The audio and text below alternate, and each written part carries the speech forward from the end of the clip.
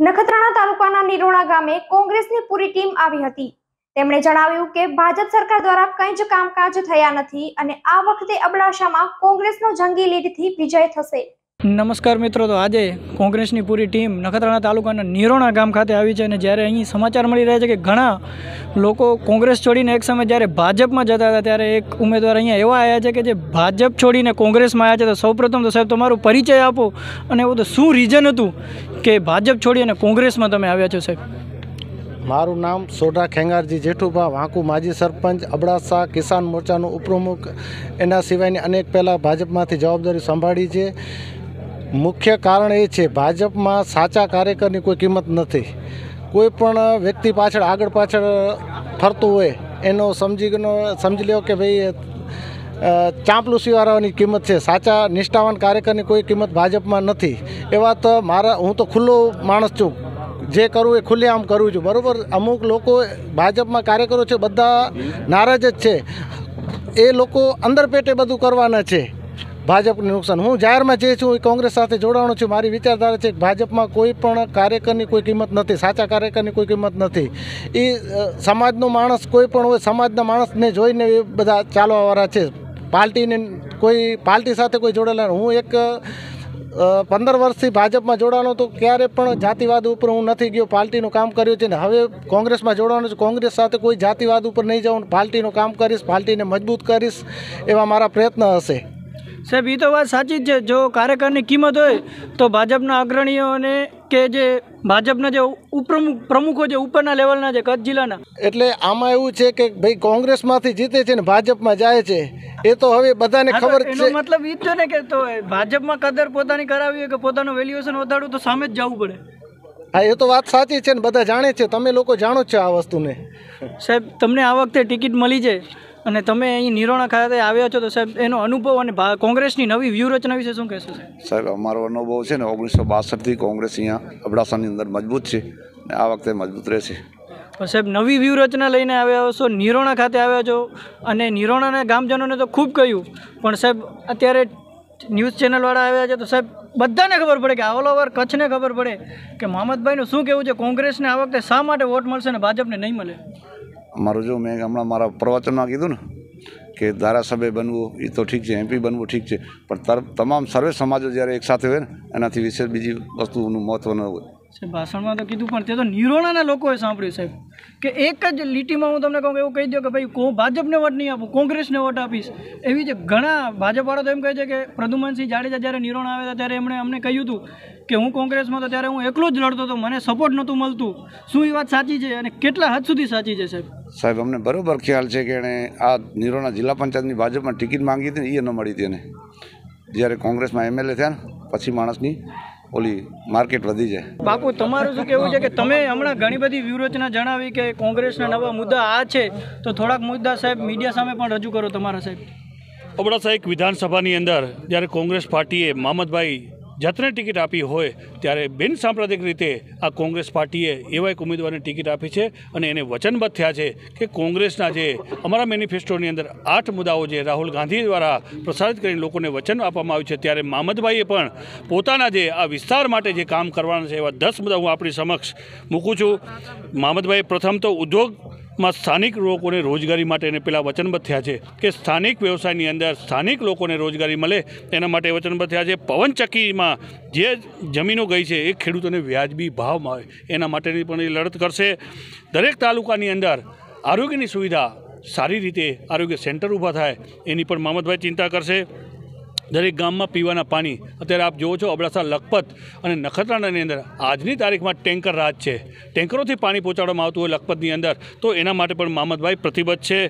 Dam સાથે જોડાયેલી તમામ કેનાલોને સફાઈ કરી, મોટી કરી અને ખેડૂતોને માટે ત્યાં પાણી પહોંચતા થાય ડેમોના પાણી. એની વ્યવસ્થા પણ મામદભાઈ ચૂંટાયા બાદ કરશે. ખાણો અને કારખાનાઓમાં સ્થાનિક લોકોને રોજગારી માટે પણ એમને પ્રતિબદ્ધ થયા છે અને શાળાઓના શિક્ષકોની ઘટ જે છે એને પૂરતા કરવા માટે મામદભાઈ કટિબદ્ધ થયા છે અને શાળાના ઓરડાઓ જે અત્યારે જર્જરિત છે, એની માટે પણ મામદભાઈ પૂરતા પ્રયત્નો કરશે. ચૂંટાયા બાદ પ્રદૂષણ ઘટાડવા માટે વિસ્તારની અંદર જો કંપનીઓના જે પ્રદૂષણોના હિસાબે લોકોને જે પરેશાની થઈ રહી છે, એને ઘટાડવા માટે, એના માટે પ્રતિબદ્ધ થયા છે. ત્યારે અબડાસા ના પૂરા વિસ્તાર, નખત્રાણા, લખપત અને અબડાસા જે એક વિધાનસભા છે અબડાસા, એના જે સ્થાનિક મુદ્દાઓની અંદર અને તેમજ ત્યાં પર્યટન ધામ પર્યટન ધામ વિકસે ટુરિઝમ ડેવલપ થાય, એના માટે પણ મામદભાઈ પ્રતિબદ્ધ થયા છે. અને છેલ્લે હું જોઉં કે ચૂંટણી જીત્યા બાદ છ મહિનાની અંદર એમના પ્રયત્નો હશે.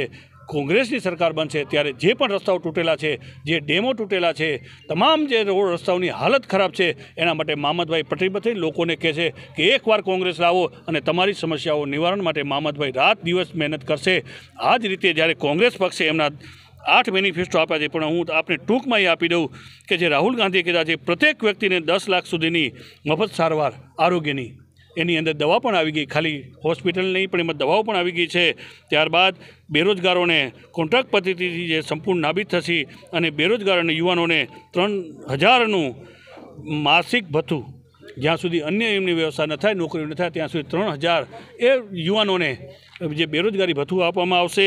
જે ગેસના બાટલા જે અત્યારે અગિયારસોમાં મળે છે, એ વચનબદ્ધ થયા છે કે પાંચસો રૂપિયાની અંદર આપણા જે બહેનોને અત્યારે જે આંખોમાંથી ધુમાડા કાઢી નાખે છે, ભાઈઓના ખીચા ખાલી કરી નાખે છે, એ જ જ્યારે ભાજપ સરકારના મોવડીઓ કહેતા હતા કે, ભાઈઓ બહેનો, મને યાદ કરજો કે એક ખાલી પત્ર લખજો કે તમને હું ચિંતા નહીં કરું ત્યારે બહેનો પત્ર લખીને આંસુડે આંસુડે રોવે છે કે બને વિના ખીચા ખાલી થઈ ગયા છે. ભાઈ, તું એકવાર તો આવ. એ જ રીતે ત્રણ લાખ કિસાનોનું દેવું માફ કરશે, ત્રણસો વીજળી યુનિટ માફ કરશે. કિસાનો માટેને આજે ત્રણ લાખનું દેવું માફ કર્યા બાદ એને જે મીટર પ્રથા છે, એને નાબૂદ કરશે.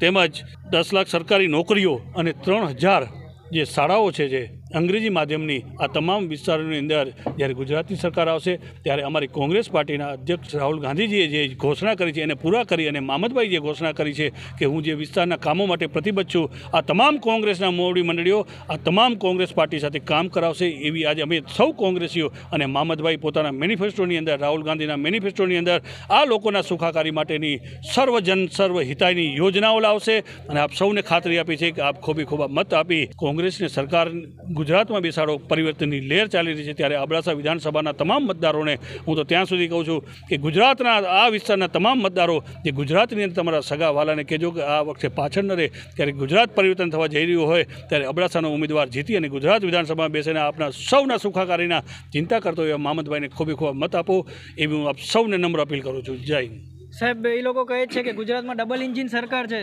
ડબલ એન્જિન સરકારમાં બહુ ઝડપી કામ થશે. એના ઉપર તમારું શું કહેવું છે આપણે એક જ એમને પૂછીએ કે સત્યાવીસ વર્ષથી આ સરકાર છે.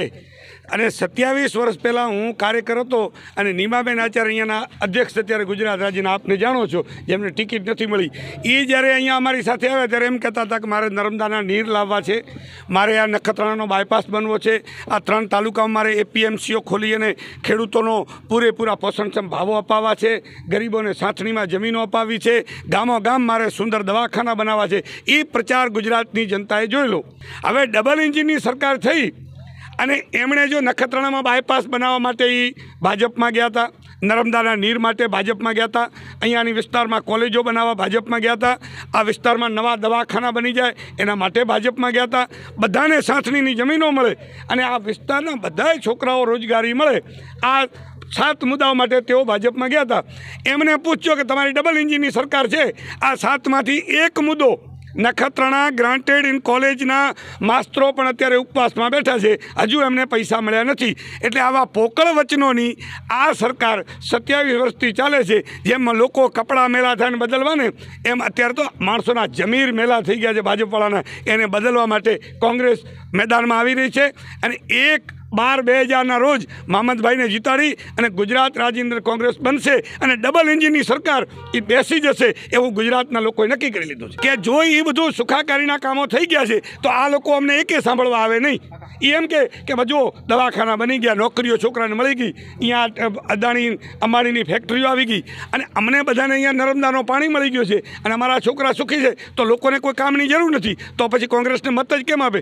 સાહેબ, છેલ્લે એટલું જ પૂછીશ કે વિકાસ એટલે શું ઘણા ખબર નથી, બધા વિકાસ થઈ ગયો વિકાસ શું છે વિકાસ એટલે ભાજપના આગેવાનો એકદમ ગરીબ હોય, ભાજપમાં જોડાય અને પછી જેમાં વિઘા કોટ છે ને, પાકિસ્તાનમાં વિઘા કોટ છે, ત્યાંથી માંડીના કુરન સુધી બે લાખ અને ઓગણપચાસ હજાર એકર જમીન, ખેડૂતને બે ગુંઠા જમીન જોઈતી હોય તો એને પચાસ વખત નખત્રાણાની બજારમાં હલાવે અને બે લાખ અને ઓગણપચાસ હજાર એકર જમીન અહીંયા આગેવાનોએ લીધી છે. એમને પૂછજો કે તમારો વિકાસ થયો કે કોઈ ગરીબનો થયો? વિકાસ એનો થાય છે. ચૂંટણી જીતે ભાજપના આગેવાનો સત્યાવીસ વર્ષથી જાતિવાદના નામે અને પછી હરામના પૈસા કમાય. પવનચક્કીઓ સ્થાપે, આ વિન્ડવાયરની લાઈનો સ્થાપે, પોતે મીઠાની કંપનીઓમાં પોતાની બસો બસો ગાડીઓ ચલાવે અને ગરીબ પ્રજા માટે કોઈ ઓફિસમાં કામનો ફોન ન કરે, એને કહેવાય વિકાસ. જો ફોન કરે તો ઓલો અધિકારી કંઈક તમારા ખટારા હાલે છે, એને કોઈ પાસે લાઇસન્સ નથી. અને આ ગરીબનો, તો કે તો કી વાંધો ને કી વાંધો ને અને ઓલો છોકરો પૂછે કે સાહેબ, મારી ગાડી પકડી. તો કે આ કે લાઇસન્સ રખણો ખપે ને? પોતાના બસો ખટારામાં લાઇસન્સ ન હોય એ કહી જ ન શકે કોઈને. આ વિકાસ કહેવાય ભાજપનો.